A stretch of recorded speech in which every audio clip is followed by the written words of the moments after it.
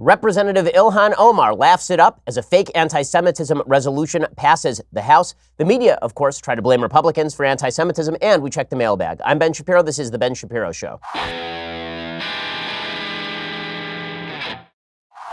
I've rarely seen a moment as outrageous as this moment in American politics. And I don't mean outrageous as in hilarious or outstanding. I mean outrageous as in we should all be outraged. If you have a shred of morality left in your body, looking at how the Democrats are acting, looking at how the media are acting, it is truly astonishing. We'll get to all that in just one second. First, let's talk about saving money on your legal bills at your business. There are five things business owners can count on from LegalZoom. First, reliability. Over 2 million people have used LegalZoom to start their businesses. Second, experience. They've been helping all types of business owners for over 17 years. You can count on LegalZoom to help with all the details.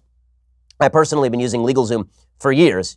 I am a lawyer, and they have great legal resources. Number three, helpful support. They have the right people standing by, ready for your questions, all based in the United States. Number four, legal advice. LegalZoom is not a law firm, but they have a network of independent attorneys licensed in all 50 states. They can help you review contracts, help with employment laws, advise you on many of the hurdles that pop up when you're running a business. And finally, number five, no surprises. LegalZoom provides complete transparency with upfront pricing, customer reviews, and a satisfaction guarantee. Check out LegalZoom today. See how they can make life better for you and your business. And don't forget to enter Ben at checkout to save even more. LegalZoom is where life meets legal. LegalZoom.com. Don't forget to enter Ben at checkout to save even more. LegalZoom.com, where life meets legal. Go check them out right now. So we begin today with this ridiculous stupid, foolhardy, obviously obfuscatory resolution from the House Democrats that was set to condemn, I kid you not, racism and bigotry against,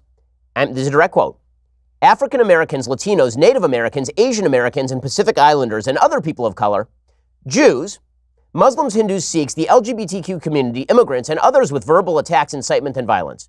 So Jews come in, I believe, seventh on that list of peoples who are who are protected under this resolution. And the resolution specifically calls out the effect of white supremacy, white supremacist anti-Semitism, among other among other things that are targeted by white supremacists, other groups targeted by white supremacists. Let's remember, this resolution that was sponsored in the House yesterday and passed overwhelmingly was a direct response to Representative Ilhan Omar, Democrat of Minnesota, who is an open anti-Semite, who has apologized some three times in the last six weeks, or quasi apologized, or not apologized, for three separate openly anti Semitic statements. One, she suggested that Israel, the Jews, had hypnotized the world with their Jew powers. Second, that Jewish money lay behind American support for Israel. And third, that American supporters of Israel were, in fact, loyal to Israel itself. And so those are all three anti Semitic statements. Not one of them has to do with Israeli policy. So, what do the Democrats do? First, they remove Ilhan Omar's name from an anti Semitism resolution. Then they say, you know what, we can't condemn anti Semitism because people might read between the lines and see we're talking about Ilhan Omar. So, instead, what we will do is we'll condemn all bad things. And then, just to make sure that we obfuscate the rationale for this whole thing, we'll talk about white supremacy, as though that's the issue of the last six weeks. Now, recall, there was a House resolution passed against white supremacy in January. It was voted for unanimously in the House. So this is nothing new. The only thing that is new here is that Democrats are openly pandering on behalf of Ilhan Omar. They decided that they were it was more important to greenlight anti-Semitism from members of their intersectional base than it was for them to condemn anti-Semitism. It is in fact that simple. It is that easy. They passed a seven-page resolution that is filled with all sorts of randomness, specifically in order to avoid talking about Ilhan Omar. That's all this was. So this thing passes overwhelmingly because Democrats are passing something that is quote unquote unobjectionable. But there are some people on the right who don't vote for it. Why? Because they say openly, we're not voting for this thing because it's an open and obvious attempt to obfuscate the actual issue here, which is the anti Semitism of a member of the House who is not even being removed from the Foreign Affairs Committee. And, and so, how do the media react to that? They say, oh, look, Republicans are pro anti Semitism. I'll explain how all this works. So, let's begin with the various players talking about this idiotic resolution, which is designed to, again, cover for Ilhan Omar's anti Semitism. That is the only reason that this resolution came to the floor, and it's the only reason it is this broad, condemning all the things. So here's Nancy Pelosi yesterday talking about the resolution right before its passage. I don't, I don't think that um, that the Congresswoman is uh, uh, perhaps appreciate the full weight of how it was heard by other people, although I don't believe it was intended in any anti Semitic way. We're working on something that is one resolution addressing these, these forms of hatred, not mentioning her name because it's not about her, it's about uh, the, these forms of hatred. Madam Speaker, to that Okay, so end, Pelosi says, Pelosi explicitly says it's not about her, except for how this whole thing is about her. This whole thing is about Ilhan Omar. The only reason we're having this discussion is because she keeps saying anti Semitic stuff because she knows what she is saying and she doesn't care because she's an anti Semite. But Pelosi openly acknowledges that this resolution is designed to avoid talking about all of this. Representative Ted Deutch, maybe the only honest Democrat left in the Democratic caucus, he gets up on the floor of the House and he talks about how the resolution really should only address anti Semitism, but his fellow Democrats are too gutless to do that. This is not political. No one should make it political. The use of anti Semitic language and images can never be tolerated. What's been so difficult for so many people in my community is that people who are fearful when anti Semitic tropes are used are being told that they're wrong. When a colleague invokes classic anti Semitic lies three times, then this body must condemn that anti Semitism. Anti Semitism is worthy of being taken seriously on its own. It's worthy of being singularly called out. Words matter. For generations, they have had dangerous consequences for me, for my family, and for my people. This shouldn't be so hard. Okay, that of course is exactly right. That's Representative Ted Deutch, a Democrat from Florida, who is saying exactly the right thing. Now, Deutch and his colleagues have been attacked by people like Alexandra Ocasio Cortez and Ilhan Omar and Rashida Tlaib for having the audacity to say the truth about Ilhan Omar. They've been, they've been attacked. They've been, they've been, it has been suggested that they are trying to shut down debate. And all the 2020 leading Democratic candidates have come out in favor of Ilhan Omar. Most strongly, of course, Bernie Sanders, which is of most use to members of the left who want to claim that this isn't anti Semitic. They point to Bernie Sanders. They say, well, if Bernie greenlights, I mean, Bernie's Jewish. Okay, Bernie Sanders has about as much connection to, a, to, to the Jewish community as a ham sandwich, meaning he was born Jewish, he is an overt atheist, he's a radically anti Israel socialist. Like, where exactly is his deep connection to Judaism? It doesn't exist. But he is convenient to use because, of course, he is ethnically Jewish. So that allows people to use him as cover. In any case, Representative Lee Zeldin, who actually is Jewish, he is the Republican member of the House who is Jewish, he said, I'm not going to vote for this garbage resolution because this garbage resolution is specifically designed to, to cover up for Ilhan Omar being an anti Semite. We are here today, right now, because of anti Semitic rhetoric from one member of this chamber said again and again and again. If that member was a Republican, that member's name would be in this resolution. And this resolution would be all about condemning anti Semitism, and it would be done so forcefully. I apparently uh, am giving Rep. Omar more credit than uh, the Speaker is because I don't believe she is naive. I believe that she knows exactly what she's doing. Anti Semitism must be condemned unequivocally and emphatically. Support of Israel, support of Jews, standing against anti Semitism has been bipartisan in the past. It should be bipartisan today and should be bipartisan for every moment in the future. Okay, everything that he says is right. And of course, Representative Zeldin is Jewish. And not only Jewish, he is pro Israel, he has deep connections with the Jewish community. So he votes against this resolution, as do 22 other Republicans. And those same 23 Republicans who voted against that resolution voted in favor of a resolution back in January to condemn white supremacism. Right, so this is not about them suddenly siding with white supremacy. That's a lie. The reason that Republicans didn't vote, a few Republicans didn't vote for the resolution yesterday, is because they didn't want to grant cover to Ilhan Omar. It is that simple. But that's not how the media played it. That's not how the media played it. The way the media played it, they said that the Republicans didn't vote for this resolution covering for anti Semitism because the Republicans are the real anti Semites. So notice the insane gaslighting here. A Democratic representative, a fresh face on the cover of Rolling Stone magazine, so fresh, so face, with AOC, with Nancy Pelosi. That fresh face is a blatant, brutal anti Semite, a Jew hater. And the House won't condemn her. The House Democrats won't condemn her. And then they brought in a basic resolution condemning anti Semitism into a wishy washy resolution condemning everything except for, apparently, radical Muslim anti Semitism. They won't condemn that. The only thing that they will condemn is everything else. Everything else will be condemned, but they will exempt Ilhan Omar. And then some Republicans say, listen, I'm not going to vote for that, for that ridiculous resolution you're putting forward that is specifically designed to cover for anti Semites. I won't vote for that. And the media's take oh, Republicans won't vote for an anti hate resolution. Who's hateful now, Republicans? This is so wildly intellectually dishonest. It is such incredible gaslighting, and the media are complicit in it. They are because all they, honest to God, these people are just stenographers for the radical left. Michael Barbaro of the New York Times, who hosts The Daily, he tweeted out so far, 14 House Republicans have voted against a bill condemning anti Semitism, anti Muslim, and other hatred. Wow, this is going to be hard to explain. Is it? I just explained it in less than 15 seconds. It's really not hard to explain. When you pass a stupid resolution designed to cover for anti Semites by watering it down until it is anodyne, when people vote against that, they're not voting in favor of anti Semitism. They're voting against watering down resolutions against anti Semitism in order to cover for Democrats. But not for Michael Barbaro of the New York Times. So look the now who's the anti Semite Republicans. And it's not just Michael Barbaro. Jake Sherman of Politico tweeted this out. I called him on it, and then he tried to back down. He tweeted out House Democrats have been under pressure for a week on anti Semitism, but House Republicans have bailed them out.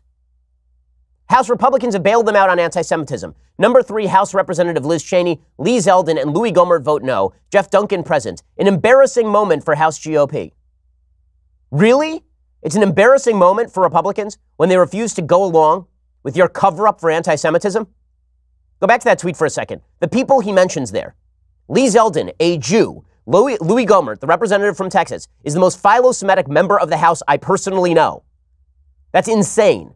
Representative Liz Cheney herself put out a statement explaining why she voted like this. Quote, Today's resolution vote was a sham put forward by Democrats to avoid condemning one of their own and denouncing vile anti Semitism. While I stand wholeheartedly against discrimination outlined in this resolution, the language before the House today did not address the issue that is front and center. Representative Omar's comments were wrong, and she has proven multiple times she embodies a vile, hate filled, anti Semitic, anti Israel bigotry. She deserves to be rebuked by name and removed from the House Foreign Affairs Committee so there is no mistake about the values and priorities that the House stands for. For Democratic leadership to kowtow to their radical members and refuse to offer legislative language that criticizes Representative Omar's statements in the strongest possible manner confirms what we already knew that their party is controlled by far left extremists who can't even muster the courage to stand up to blatant anti Semitism. That's why Liz Cheney voted against the resolution. But the media say, oh no, she did it because really secretly she's the anti Semite. See, if you don't go along with the cover up, that means that you're the real anti Semite. And the media go along with that. Politico, New York Times, and not just them.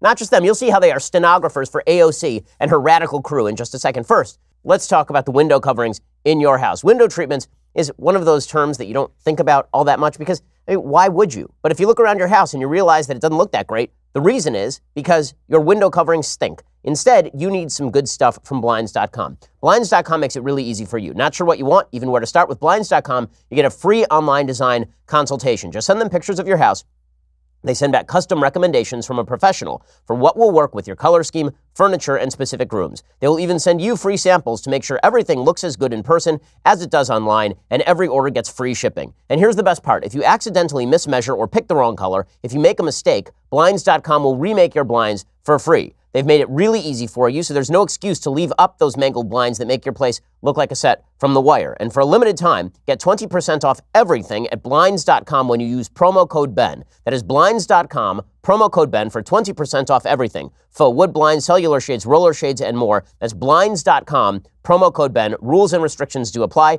Blinds.com, promo code BEN for 20% off everything. Okay, so as you see, members of the media taking dictation, taking dictation from AOC. And I'll prove it to you. Here is what AOC had to say about this. Here's what she tweeted out. This would be 20. Quote, Where's the outrage over the 23 GOP members who voted no on a resolution condemning bigotry today? Oh, there's none? Did they get called out, raked over, ambushed in halls, and relentlessly asked why not? No? Okay, got it. This is so insanely dishonest. But she, look, she's, she's a damn liar, AOC. She's been a liar since she was running. And now she's even more of a liar. Everybody knows what happened here. AOC provided active cover for an open anti Semite, and now she's saying the people who didn't help her provide that cover are the real anti Semites. Ooh, they're the real anti Semites, not you, who have provided cover every step of the way for the Jeremy Corbynization of your party. You who bragged two weeks ago that you were on the phone with vicious, brutal, pro terror anti Semite Jeremy Corbyn two frickin' weeks ago. You who have campaigned with Linda Sarsour, we're supposed to pretend that you are standing up to anti Semitism and the people who stood up to you are the real anti Semites? This is sheer, absolute, unmitigated garbage, and the media have been repeating it at every turn because the media are stenographers for Democrats. End of story. It's shocking. It really is. And for those who believe that there was a real, genuine effort to fight anti Semitism yesterday by the Democrats, I present to you Ilhan Omar's response to all of this. First of all, Omar actually went out and was hugging people on the House floor yesterday after this resolution passed. Why not? She defeated Nancy Pelosi. But then she released a statement. And here was her statement that was released alongside Rashida Tlaib, another anti Semite, and Andre Carson of Indiana, who is also a Muslim, but I have no evidence he's an anti Semite. They issued the following statement after the House voted overwhelmingly to condemn all kinds of hate. Quote, Today is historic on many fronts. It's the first time we have voted on a resolution condemning anti Muslim bigotry in our nation's history. Anti Muslim crimes have increased 99% from 2014 to 2016 and are still on the rise. Are you getting this? Are you getting this? Ilhan Omar said anti Semitic stuff, and today is celebrating a resolution to condemn Islamophobia. You reading this? Then she gets to anti Semitism. What does she say? We are tremendously proud to be part of a body that has put forth a condemnation of all forms of bigotry, including anti Semitism, racism, and white supremacy. At a time when extremism is on the rise, we must explicitly denounce religious intolerance of all kinds and acknowledge the pain felt by all communities. Our nation is having a, a, difficult conversation, and we believe this is great progress. So, this is the code now. Difficult conversation is I say something blatantly anti Semitic, and then we cover for me. That's what, that's, that, hey, that's a conversation, guys. That's what Ilhan Omar says. And you can tell that Ilhan Omar is real sorry about all of her anti Semitism. Yesterday, she retweeted a particular tweet by a guy named Mehdi Hasan. Mehdi Hasan tweeted something out about Meghan McCain. So we have to reverse course. Meghan McCain was on The View. Meghan McCain does an excellent job on The View of representing decency and conservatism. So yesterday she was talking about anti Semitism being glossed over by the Democrats, and she got emotional. Here's what it sounded like. The idea that this is politicized, I'm really not. I was very nervous to talk about this on the show because I thought it would become politicized, and it really shouldn't be. On both sides, it should be called out. Right. Mm-hmm. And just because I don't technically have Jewish family that are blood related to me, it doesn't mean I don't take this as seriously. And it is very dangerous, very dangerous. And I think we all collectively, as Americans on both sides, and what Ilhan Omar is saying is very scary to me, and it's very scary to a lot of people. And I don't think you have to be Jewish to recognize that. you don't. that. Of course, she is exactly right. So, what did Ilhan Omar do? The, what, what's so offensive about what she said? She said Ilhan Omar's comments are anti Semitic and anti Semitism is bad. So, Mehdi Hasan, he is a columnist for Al Jazeera.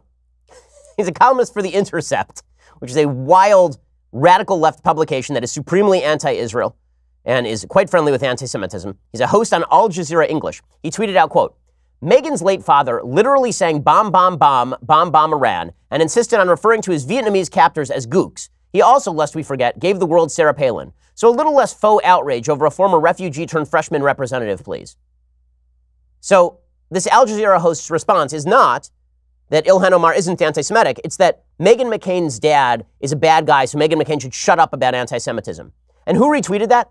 Oh, Ilhan Omar retweeted that, of course, because she is not in the slightest embarrassed or upset by her anti Semitism. She's quite happy about it. And why shouldn't she be happy about it? The entire Democratic Party just caved and covered for her. Why shouldn't she be overjoyed at the treatment that she has just received? We know who's in the driver's seat now, and it's the anti Semites. And by the way, let's not pretend that this has nothing to do with, with anti Semitism when it comes to when it comes to Ilhan Omar's comments. Eli Valley is another radical left cartoonist. Sometimes I believe he's associated with some of the folks at The Intercept. And Eli Valley put out this cartoon. You should subscribe so you can actually see what the cartoon looks like. It is straight from the pages of Der Stürmer. It is a Nazi cartoon. Okay, Eli Valley puts out a cartoon, and it shows Meghan McCain wearing a cross necklace, and in one hand, she has a box of matzo ball soup mix, and he makes her look, of course, hideous and, and overweight and all of this. And in the other hand, she has a, a Jewish star marked Yud, like Juden, as in like the Nazi yellow star. And, and then she has on the table in front of her a copy of Yentl and, and a book called Jewish Race Explained. and says the things she said about the Holy Land, that refugee girl wants to exterminate us Jews. I mean, this is straight up. It is straight up Jew hatred. And the attempt to suggest that Meghan McCain doesn't know what she's talking about because she's not Jewish and therefore she shouldn't care about anti Semitism. Like, the radical left is fine with anti Semitism. They're not just fine with it, they are enthusiastic about anti Semitism. They're supremely enthusiastic about anti Semitism, in fact. And, and it's, it's obvious that they are. They've been tolerating Linda Sarsour in their midst, toler- celebrating Linda Sarsour. Yesterday, Linda Sarsour was asked if Israel has a right to exist. Now, there's a lot of anti Israel criticism, criticism of Israel policy that is not anti Semitic. Saying that Israel has no right to exist, that's actually anti Semitic. A lot of anti Israel commentary, not anti Semitic. Israel has no right to exist, anti Semitic. That means the wiping out of some six million Jews in the Middle East and supplanting it with a radical Islamic di- dictatorship. Okay, that is what people like Linda Sarsour would like. So Linda Sarsour was asked specifically about this, and I'll show you her response and the response of her bodyguards in just a minute. But first, let's talk about hiring. Hiring can be challenging, but there's one place you can go where hiring is simple, fast, and smart. A place where growing businesses connect to qualified candidates. That place is ziprecruiter.com slash dailywire. ZipRecruiter sends your job to over 100 of the web's leading job boards, but they don't stop there. With their powerful matching technology, ZipRecruiter scans thousands of resumes to find people with the right experience and then invites them to apply to your job. As applications come in, ZipRecruiter analyzes each one and spotlights the top candidates, so you're never going to miss a great match. ZipRecruiter is so effective that 80% of employers who post on ZipRecruiter get a quality candidate through the site within the very first day. Right now, my listeners can try ZipRecruiter for free at this exclusive web address, ziprecruiter.com slash dailywire. That is ziprecruiter.com slash D-A-I-L-Y-W-I-R-E, ziprecruiter.com slash dailywire. ZipRecruiter is indeed the smartest way to hire. Go check them out for free and give them a try. ZipRecruiter.com slash dailywire. There's a reason we use ZipRecruiter here at the Daily Wire offices to make sure that we find the best employees quickly. ZipRecruiter is the smartest way to hire. Alrighty, so Linda Sarsour is good proof of just where the Democratic Party now stands, what they are willing to stand for. So here was Linda Sarsour yesterday being asked whether the state of Israel has a right to exist. And then wait till you hear what her bodyguards have to say to people asking her the question.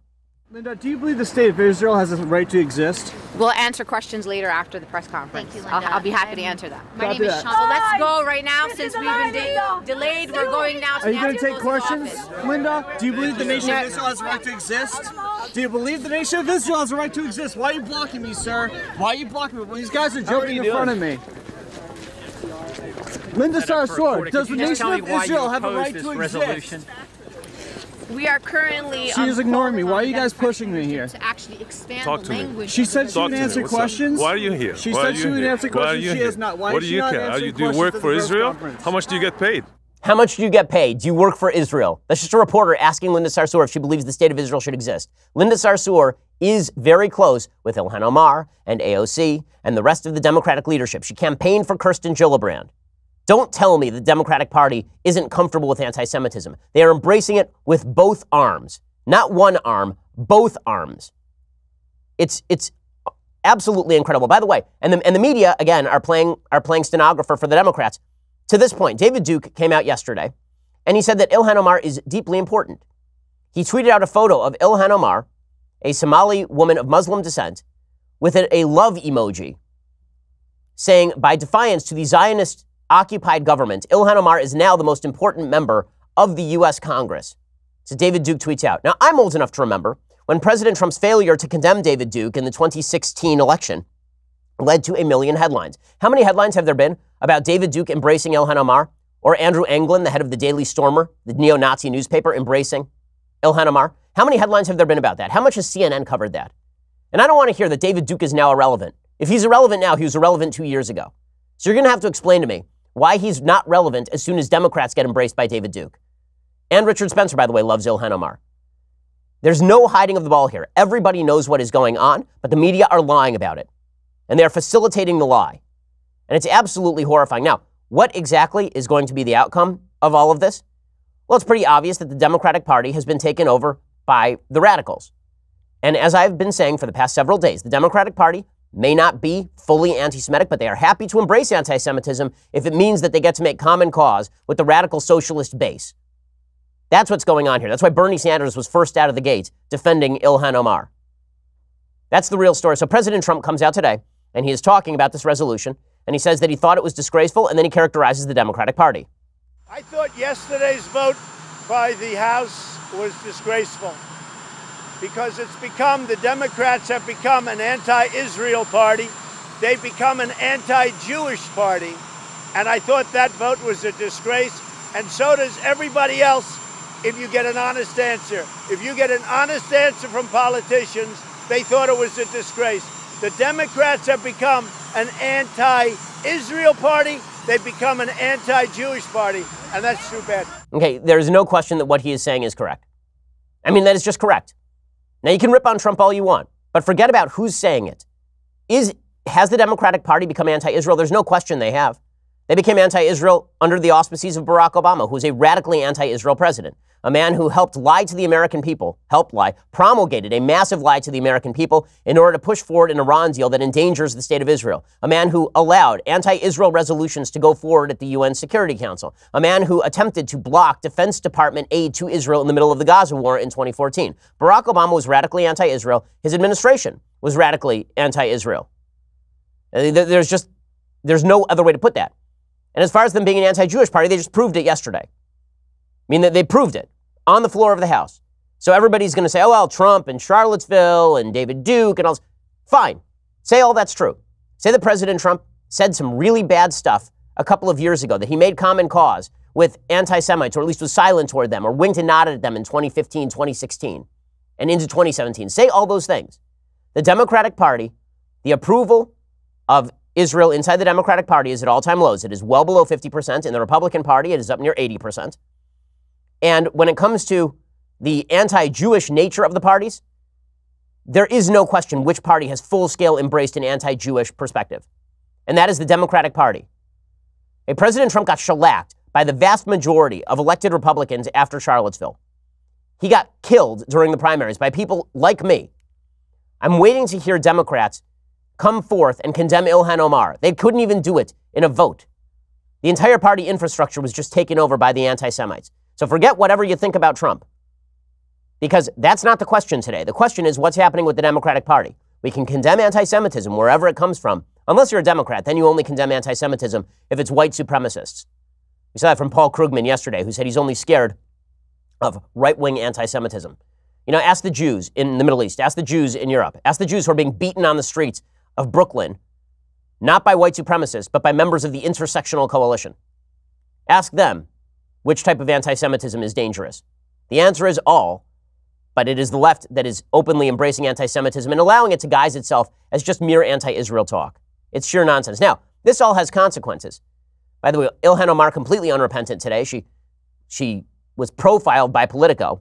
She said, I am certainly not looking to be comfortable. I don't want everyone necessarily to feel comfortable around me. I think really the most exciting things happen when people are extremely uncomfortable. Yes, making the Jews uncomfortable every day, Ilhan Omar. And then you have Anna Palmer, a reporter for Politico, saying, I've heard this from more than one freshman Democrat when asked about Omar's comfort, uh, comments. They use the word uncomfortable often. Need for those types of conversations. So Democrats are now saying anti Semitism. Let's have a conversation. Let's have a conversation. And then Politico has another story out today about how Bernie Sanders raced to support Ilhan Omar knowing that a lot of people on the left would be very happy with an ethnic Jews defending Ilhan Omar. Matt Continetti has Matt Continetti, the editor of the Washington Free Beacon, has a really good piece out today. He says if anti-Semitism is the price of a socialist America, so be it. Obviously, that is true. Obviously, that is true. Now we'll get to what this means for the future of the Democratic Party in just one second. First, you're going to have to go over to dailywire.com and subscribe. Go subscribe right now over at dailywire.com. Get the rest of our show live for $9.99 a month. Then you can also get two hours additionally in the afternoon. We're having on Representative Lee Zeldin a little bit later today to talk about this ridiculous resolution. Also, when you, when you spend 99 bucks a year, you get the Leftist Tears tumbler. This world famous Leftist Tears tumbler. Today, we are featuring a Daily Wire premium subscriber. We wanted to give a shout out to a different subscriber every week as a thank you for helping support the Daily Wire, because who wouldn't want to get a shout out on the largest, fastest growing conservative podcast in America? This week's shout out goes to Nathan at Town, it's T O N N 85 on Twitter. Nathan is flying high in the sky while sipping those leftist tears, still hot at that great altitude. Nathan, excellent shot of the tumbler. Thanks for being a subscriber. If you want to receive one of the most amazing shout outs you've ever experienced, make your life worthwhile right here on The Ben Shapiro Show. You have to be an annual subscriber. You have to post a photo of your tumbler on either Twitter or Instagram with the hashtag LeftistTearsTumblr. You can even be in the photo if you'd like, or you don't have to be. Just send us those photos. So go check us out, subscribe, you get the rest of the show live. Also, we have a great Sunday special coming up this week with Arthur Brooks at American Enterprise Institute. When you subscribe, you get that a day early on Saturday.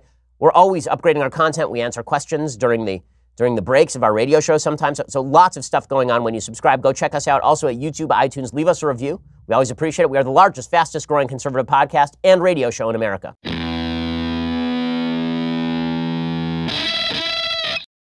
So, what are the consequences for Nancy Pelosi having handed over control of her party to AOC and Ilhan Omar and Rashida Tlaib and the anti Semites and enablers who are the fresh faces of the Democratic Congress? So fresh, so face.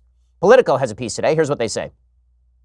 They have gathered in defiance of the freezing temperatures on a late February night, scores of them twirling Somali flags in one hand and American flags in the other, crowding the arrivals terminal and waiting to welcome one of their own. The vast Somali community in the Twin Cities is like one sprawling extended family, explains Ali Aden, a 39 year old engineer who came to the U.S. two decades ago as we survey the scene. When a prominent member of the family arrives, it's customary to greet them this way. Is it Congresswoman Omar they're waiting for? I ask, rep- referencing the freshman Democrat whose district we're standing in. Ilhan, he smiles broadly. No, no. If it were Ilhan, the whole city would be here. Instead, it was just to meet some obscure Somali dignitary. But Omar is a rock star in her district. In her district. Also, she's on Rolling Stone, so I guess Democrats are trying to make this anti Semite an actual rock star. Omar was destined to stand out. After Congress changed its 181 year old rule prohibiting headwear to accommodate her, she became the first person to wear a hijab on the House floor. But it wasn't her wardrobe or her religion or her gripping biography as Congresswoman who came of age in a refugee camp that distinguished Omar in her early days on Capitol Hill. Rather, it was her usage of social media and the uproar that ensued and then talks about her anti Semitic comments. And then she talks about what exactly, then she talks about what exactly her perspective is. And her perspective is that they need to make Jews uncomfortable, and they also need to move in a, an incredibly socialist direction. Omar says, I'm certainly not looking to be comfortable. I don't want to make everyone necessarily feel comfortable around me. I think the most exciting things happen when people are extremely uncomfortable. And then she says, this is the best part of it. She starts ripping on Barack Obama. Right? She says that Barack Obama was a problem. She says the hope and change offered by Barack Obama was a mirage, recalling the caging of kids at the US Mexico border and the droning of countries around the world on Obama's watch. She argues that the Democratic president operated within the same fundamentally broken framework as his Republican successor. We can't only be upset with Trump. His policies are bad, but many of the people who came before him also had really bad policies. They just were more polished than he was, Omar says. And that's not what we should be looking for anymore. We don't want anybody to get away with murder because they are polished. We want to recognize the actual policies that are behind the pretty face and the smile. So she is ripping on Barack Obama, and she wants a socialist takeover of the Democratic Congress. She says, I don't believe that tiptoeing is the way to win the hearts and minds of the people. I get saddened by some of my freshman colleagues who can't understand that within their districts, the idea of Medicare for all is extremely popular. The Green New Deal is a very popular idea in their districts. Making sure that we have a final fix to our broken immigration system is very popular in their districts. What they pay attention to is the rhetoric that says this is a red to blue district. You have to be careful. You can't talk about these policies. Well, in reality, these people are like everyone else. They struggle with the cost of health care. They struggle with our broken infrastructure. They struggle with having an economy that brings them into the 21st century. And we have to be willing to have those conversations. Facing another round of denunciations, Omar refused to back down. This is all Politico kissing her rear. What ensued was a week of unmitigated chaos within House Democratic ranks. Senior Democrats pushed for a vote on a resolution condemning anti Semitism. Younger Democrats rallied behind Omar and objected to her being singled out. And the party's leadership, desperate to defuse the situation, finally settled on a catch all version of the resolution condemning all forms of hate speech, including against Native Americans and Pacific Islanders. It was a clear cut victory for Omar and her allies on the left. In a preview of her defiance, just hours before the videotaped comments thrust the Congresswoman back into the national limelight, Omar told me that Washington should get used to her troublemaking. As much as other people are uncomfortable, I'm excited about the change in tone that has taken place. That is extremely positive, she says, and my ability, I think, to agitate our foreign policy discussions in a way that many of my colleagues who have been anti intervention, anti war have been unable to do in the past. So, I'm okay with taking the blows if it means it will ignite conversations that no one was willing to have before. Ah, you see, she's just igniting conversations. That's all that's happening. It's not that she's a radical anti Semite who is open about her anti Semitism. She's, she's igniting conversations. Well, Nancy Pelosi gets to own this crap now. Nancy, you own this. You decided to surrender your party to these people. You bought the ticket. Now you take the ride. You wanted a Bernie Sanders led party. You got it, lady. You made this happen. You decided to surrender your party to the intersectional socialist mix. And Bernie Sanders decided to surrender his socialism to the intersectional contingent in the hopes that they would support him in the presidential race. Bernie Sanders, there is no question, is the frontrunner for the Democratic nomination at this point. Why? Because he is willing to pander to the intersectional base while being overtly socialist. There's a reason that Bernie Sanders came out, he knows better, and decided to openly embrace the anti Semitic members of his own contingent and to pretend that their anti Semitism was just anti Israel rhetoric. Make no mistake, the Democratic left knows exactly what it's doing. And now it's going to get it good and hard. They voted for us, they're going to get it good and hard. Because if you think the American people stand with the Democratic Party in their willingness to embrace anti Semitism this way, you got another thing coming. If you think the American people are interested in embracing socialism and radical anti Semitism, and that's going to be your platform, you got another thing coming, guys. And you may think you can get away with it because Trump is unpopular. But here's the important thing to remember President Trump is going to run against someone. It's not just going to be a referendum on Trump, it's going to be a referendum on how radical Democrats decide to be. The American people do not agree with this stuff. I still have enough confidence in the American people to believe that they hate anti Semitism and that they are appalled by what they saw yesterday from the Democrats. And that they are appalled by Ilhan Omar's statements and that they are appalled by the radical socialism that is being pressed forward with the support of an intersectional coalition rooted in a hatred of America's hierarchical system. And that's the contention of intersectionality. America has a hierarchical system, and we know to, we need to band together to wreck it.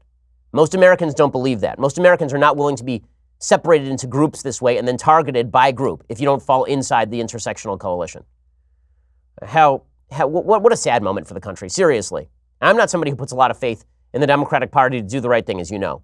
But it's a sad moment for the country. I didn't think it would come to this. I really didn't. Not this quickly, anyway. There were early indicators the Democratic Party was going to move in an anti Semitic direction. I mean, obviously, they've been tolerating Louis Farrakhan for years. Barack Obama sat in Jeremiah Wright's church for 20 years. But the full scale embrace, that was something I was not expecting, and I don't think many people were. All right, time for some questions in the mailbag. So let's see. Stephen says, Hey, Ben, my question is something I'm supposed to do for school. I'm supposed to ask multiple people the definition of what rhetoric is to help form my own. Can you tell me how you would define rhetoric? Thanks, huge fan. Well, I mean, rhetoric, I think, is argumentative style.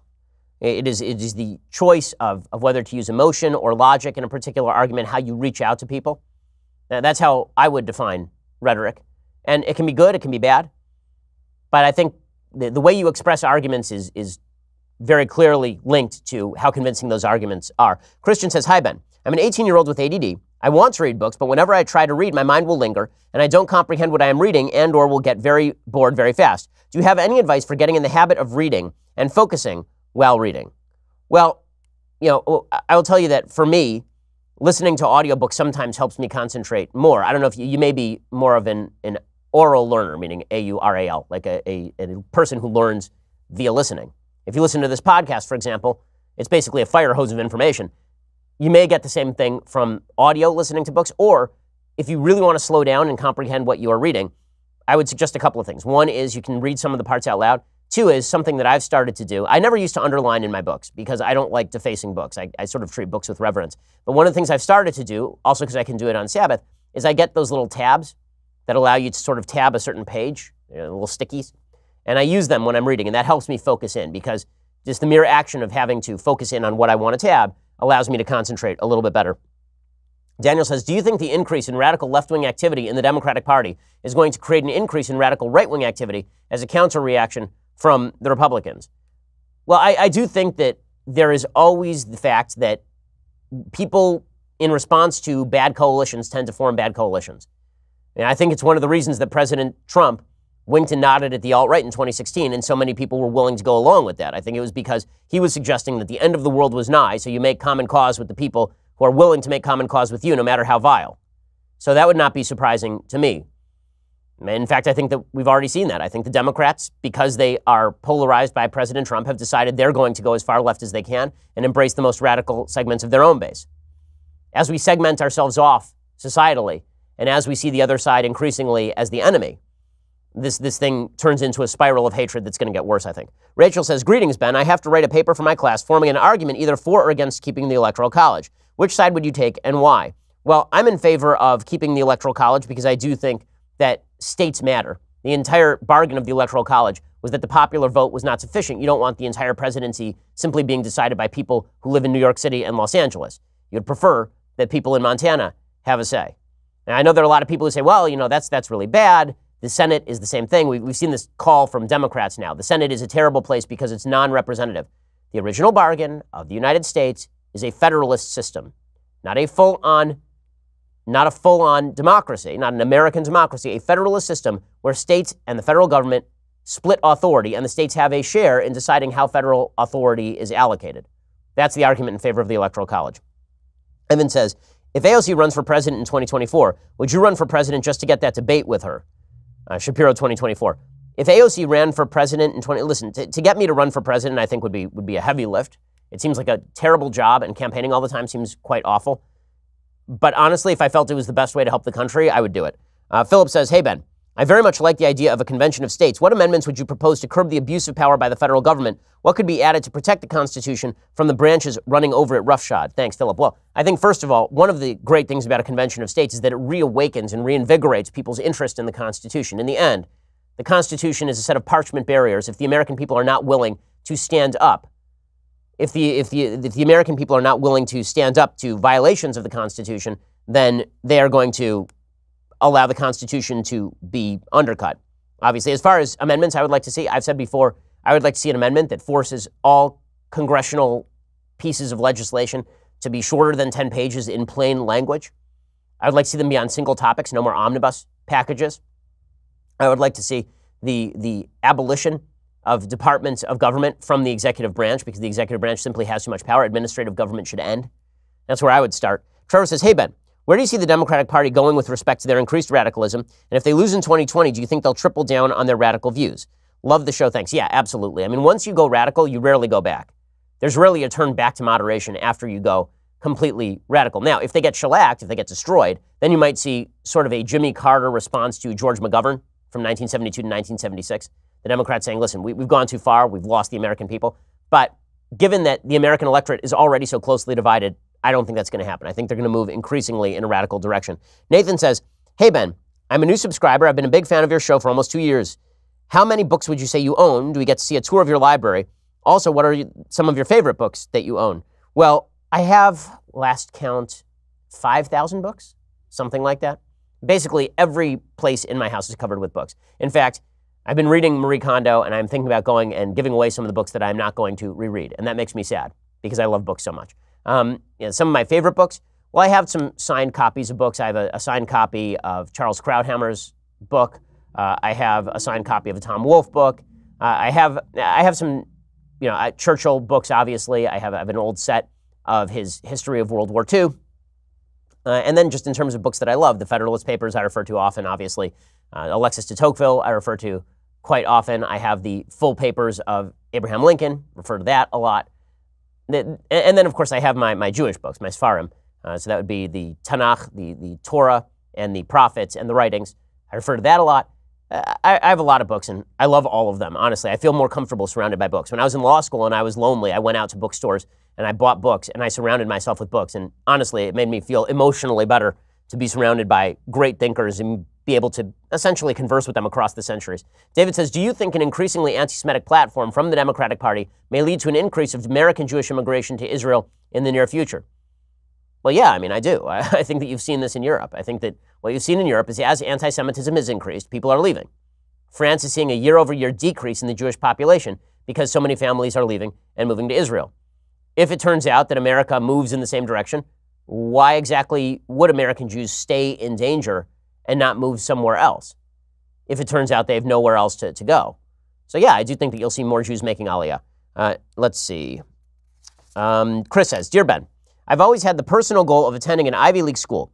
Based on your experiences at both Harvard and UCLA, is there a major difference between the two with regard to opportunity? I feel as if the only surefire way to have significant influence in academia, politics, etc., is to attend one of these schools. Thank you. Well, there's no question that credentialing matters an awful lot to folks because we're not allowed to take IQ tests publicly, and we're not allowed to to grade people on the basis of, of those sorts of tests.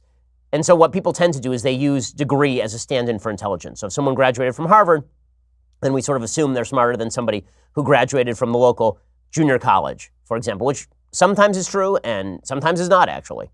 And in terms of practical knowledge, very often is not. With that said, you know, I, I believe that that going to Harvard is a significant advantage. It does create social networks that allow you to to take advantage of people that you know. Uh, there's a great book by um, uh, what what is his name? J.D. Vance, Hillbilly Elegy, where he talks about moving from sort of Appalachia to Yale Law School and how that changed his life. There's no question social networks matter. And Jesse says, Hey, Ben, what are your thoughts on the massive Bryce Harper Manny Machado contracts? I know the White Sox were at least in on Machado during the offseason. Well, I mean, my thought is that they got what they felt they could get in the market. I wouldn't have signed a contract for that much with these guys, particularly not Machado. I mean, at least Bryce Harper has a, has a track record of production, and he doesn't have as much of an attitude problem. Machado wouldn't even run out ground balls with the Dodgers. So that to me is a, a massive red flag. Clinton says, Dear future President Shapiro, as of today, I am now a year long subscriber partly because I wanted to pose this question to you. In light of recent events involving anti Semitism and fresh faces, can you help clarify as to why there are so many people out there who believe Israel is land stolen from Palestinians? Additionally, can you point to me to more evidence as to how or why Palestine is linked to terror organizations that push to oppress the Jewish state? Admittedly, I don't know much about the conflicts in Israel or their origins, and I think this is true for everyday Americans, thus making it difficult for them to condemn recent anti Semitism, especially with the media muddying the waters. Thanks for all you do. A lot of people believe Israel is land stolen from Palestinians because they don't know their history. Israel is the historic Jewish homeland. The only reason anyone cares about it is because the Jews were there first. There's been continuous Jewish presence in Israel for legitimately three millennia.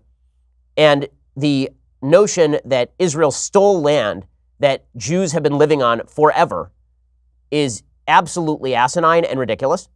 The British mandate limited Jewish immigration into British Palestine. They tried to prevent Jews from moving in. Jews were discriminated against and massacred in places like Hebron in 1929, long before there was a Jewish state there. There has never been an independent Palestinian state in that region ever. It was under the auspices of the Ottoman Empire. It was under the auspices of the British Mandate. It was never, there was, there just wasn't. There was not an independent Palestinian state in that region. There are lots of other states. In fact, the term Palestinian used to refer to Jew. It used to refer to Jew because every Palestinian is, if you go back three generations, Syrian or Egyptian or Jordanian. 70% of, of Jordan is ethnically Palestinian. So there is a Palestinian state already. It exists in Jordan. If you want another two state solution, one that was rejected by the Palestinians in, and all the Arab nations, by the way, in 1947 48, if you want a second one, you're going to have to have a government that actually wants to negotiate and create a peaceful situation. Instead, Palestinians have decided that the only solution is the complete wholesale destruction of the state of Israel. That is part of the Palestinian Authority mandate. It is part of their charter. It is part of the Hamas charter. The official government stance of Israel's quote unquote negotiating partners is that Israel ought to be destroyed. That's not a negotiating partner. Israel's been willing to make territorial concessions repeatedly and has done so repeatedly.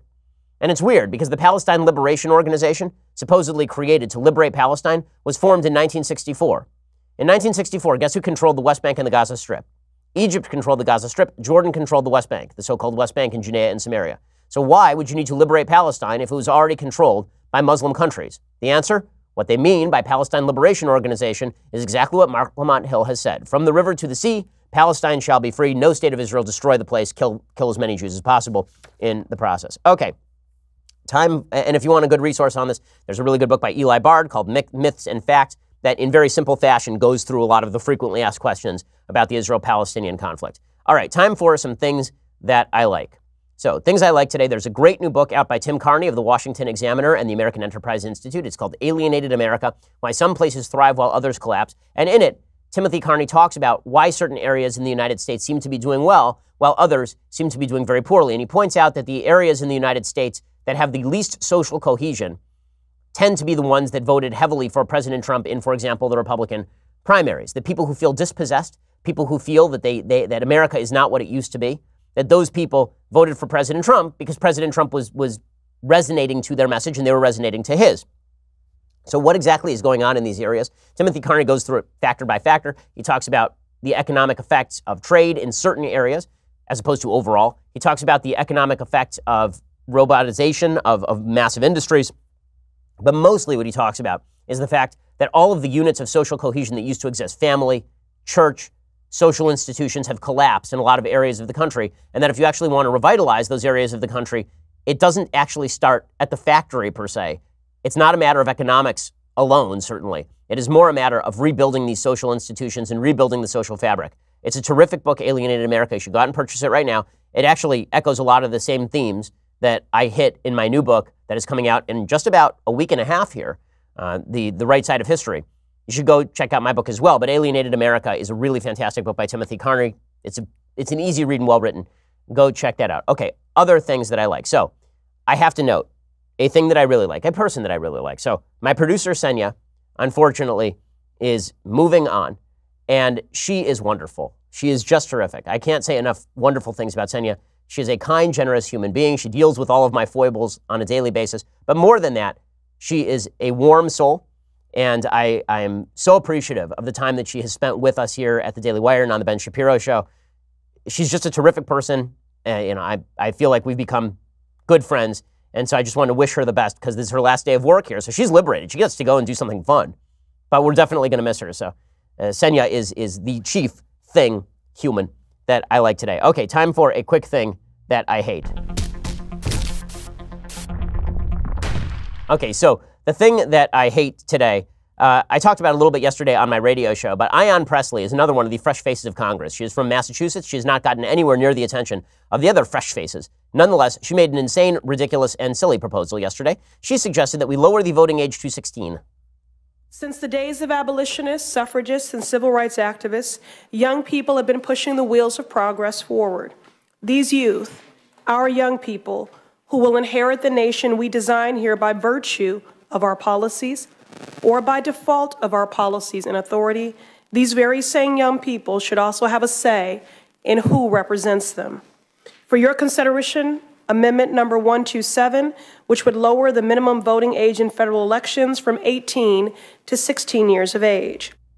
Okay, yeah, good luck with that. I, my favorite thing about this is that she went on to explain why 16 year olds should vote. She says many of them have jobs. Is that going to be a requirement now? You have to have a job to vote? If that's the case, I'm fine with abolishing all limits on age. If you just have a job, have to have a job to vote, man, this is not going to go great for Democrats, honestly. But that's not really what she means. What she means is that we should continue to expand the voter base to a bunch of people who are dependent on government largesse. When you're 16 years old, you are still in a publicly run high school. And that means that your teachers and your peers are going to steer you how to vote. All of this is absolutely silly. 16 year olds are less mature than they ever have been at any time in human history. 400 years ago, 16 year olds were expected to move out of the house and be married already. Really. And even 150 years ago, 16 year olds were getting ready to move out. They are already apprenticing themselves, they're already getting jobs, they're already getting ready to start a family. The average age of first marriage in the United States, even 50 years ago, was about 20 for both men and women. Now, the average age of marriage is about 73 in the United States. If you are 26, you're still on your parents' health insurance program. If anything, we should be raising the voting age. And I'm speaking as someone who was probably qualified to vote when I was 16 since I was already in college. I would gladly, gladly have raised the voting age when I was 25 to prevent other people who were 25 from voting, particularly if they're still living at home and reliant on mommy and daddy's health insurance plan. Alrighty. Well, we will be back here later today with two more hours. We'll be joined by Representative Lee Zeldin of New York. He's one of the Republicans who voted against the supposed faux anti hate resolution from the Democrats. He'll stop by to explain why. You should stop by too. That's why you should subscribe so you can actually listen to those two hours. If not, we will see you here for the Sunday special if you're a subscriber, to the Saturday special, and then we'll see you here again on Monday. I'm Ben Shapiro. This is The Ben Shapiro Show. The Ben Shapiro Show is produced by Senya Villarreal, executive producer Jeremy Boring, senior producer Jonathan Hay. Our supervising producer is Mathis Glover, and our technical producer is Austin Stevens. Edited by Adam Sajevic. Audio is mixed by Mike Coromina. Hair and makeup is by Jesua Olvera. Production assistant Nick Sheehan. The Ben Shapiro Show is a Daily Wire production. Copyright Daily Wire 2019.